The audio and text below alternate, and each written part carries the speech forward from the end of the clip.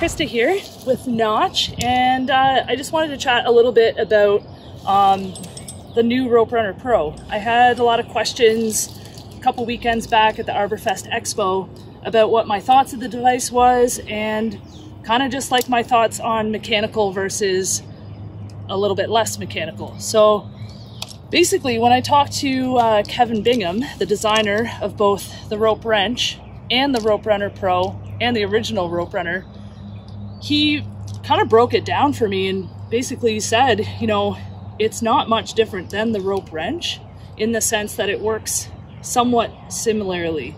So if you're used to running a rope wrench setup with a hitch, um, the transfer from this setup to a rope runner is actually not that much different and it's a lot less intimidating I would feel um, for those of you who are maybe thinking about making the switch to mechanical.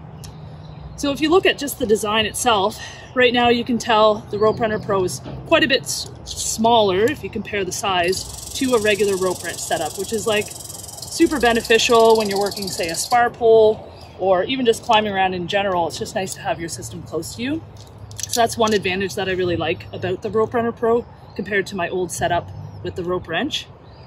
Um, but as far as like mechanics and how it works, if you want to kind of break it down and look at this device as it's been designed, the top, the bird, what we call it, is basically your rope wrench. So consider this part to be this part.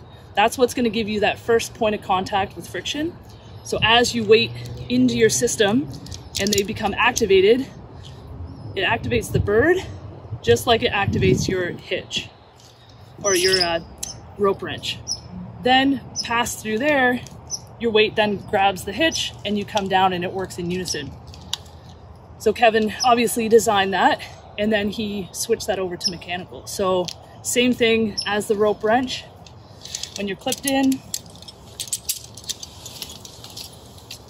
the bird takes your weight and then coming down into this part here, this portion here is your friction plate. So instead of a friction hitch, it's a plate. So as you sit down, all the mechanics from this bollard into the plate pinches down on your rope and gradually puts pressure on your rope and gives you that nice smooth friction to come down. So if you are someone who might be a bit intimidated from switching from this to this, just know it's not a whole lot different and it's created by the same man.